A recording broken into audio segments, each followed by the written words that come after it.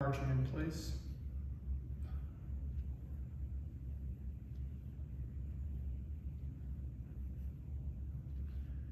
This is marching in place. Do not do these if you have hip precautions.